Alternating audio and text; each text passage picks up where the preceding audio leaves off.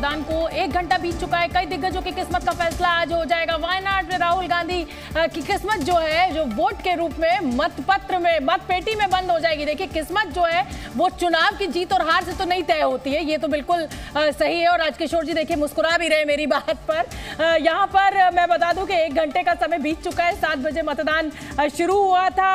NDA के भी कई मंत्री आज किस्मत आजमा रहे हैं। और ये तस्वीरें अब हमें मिलने लगी हैं मतदान की। बिल्कुल तो ये तस्वीरें इस वक्त हम आपको दिखा रहे हैं।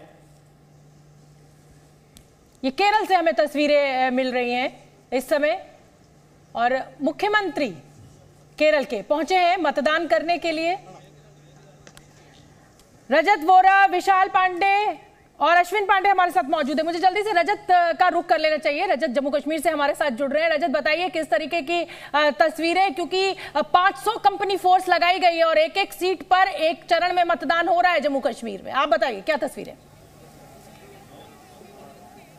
जी, बिल्कुल, जम्मू कश्मीर में जब भी चुनाव होते हैं तो संवेदनशीलता तो रहती ही है। जम्मू लोकसभा चुनाव में दूसरे फ़ेज़ में जो पोलिंग है वो स्टार्ट जारी है और सुबह से ही जम्मू की हाई प्रोफ़ाइल सीट की अगर हम बात करें तो दो बार के सांसद जुगल किशोर शर्मा यहाँ पर मैदान में है रमन बल्ला कांग्रेस पार्टी से और सुबह से ही भारी तादाद जो है वो वोटर्स की देखने को मिल रही है। कुछ वोटर से बात भी करेंगे। सर क्या कुछ कहना चाहेंगे? क्या मुद्दे जहन में हैं जिसको लेकर आप वोट करने पहुँच रहे हैं? सर, मुद्दे तो बहुत हैं। कहना क्या चाहिए? अभी तो इलेक्शन का दौर चल रहा है। इलेक्शन बहुत दिनों से हम चाहते हैं इलेक्शन हो इलेक्शन हो। इलेक्शन मोदी साहब ने करवा दिया बहुत अच्छा किया। हम तो- बिल्कुल अ, आपको बता दें शोभना जी यहाँ पर कि धारा 370 हटने के बाद पहले ये चुनाव हैं और इसीलिए हमने देख रहे हैं। सुबह से भले ये शहर का इलाका है हमने देखा है कि शहर में अमूमन कम वोट डाले जाते हैं बट इस बार भारी तादाद में वोटर जो हैं वो पहुँच रहे हैं और 80 प्रतिशत से ज़्यादा मतदान जो है वो पिछली 2019 की लोकसभा में हुआ था और इस बार भी ये जताया माना जा रहा है कि उस उस रिकॉर्ड को भी ये ब्रेक करेंगे।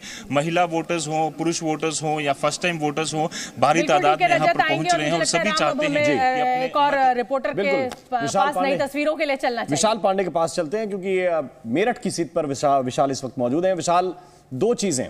मेरठ में बीजेपी ये उम्मीद कर रही है मोदी लहर और उसके साथ थोड़ा राम लहर क्योंकि जो टीवी के राम हैं वो वहाँ पर चुनाव लड़ रहे हैं। कम से कम परसेप्शन यही बनाने की कोशिश की गई है। क्या वहाँ पर समाजवादी पार्टी ने बार बार टिकट जहाँ जो बदले हैं, उसका असर ज़मीन पर देखने के लिए मिल रहा है या फिर पार्टी एकजुट होकर ये चुनाव लड़ी है? और जरा तस्वीरें भी दिखाइए, कितनी लंबी कतारें हैं विशाल वहाँ पर। बिल्कुल शोभना जी मैं सबसे पहले आपको तस्वीरें ही दिखा देता हूँ। मेरठ में सुबह से मैं देख रहा हूँ कि मतदाताओं में काफ़ी उत्साह है।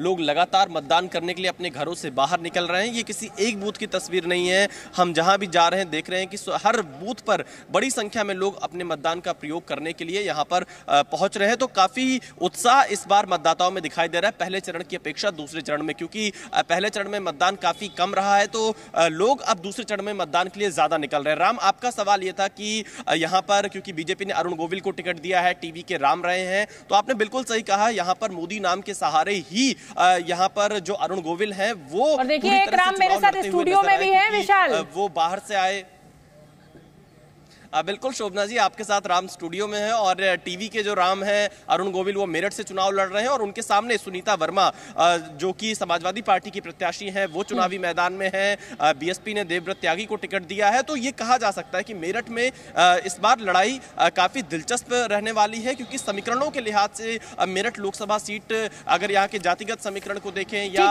अन्य मुद्दों को देखें तो ये कहा जा सकता है कि लड़ाई बहुत दिलचस्प रहने वाली है इस बार बिल्कुल ठीक है। विशाल मैं आऊँगी आपके पास जल्दी। Sie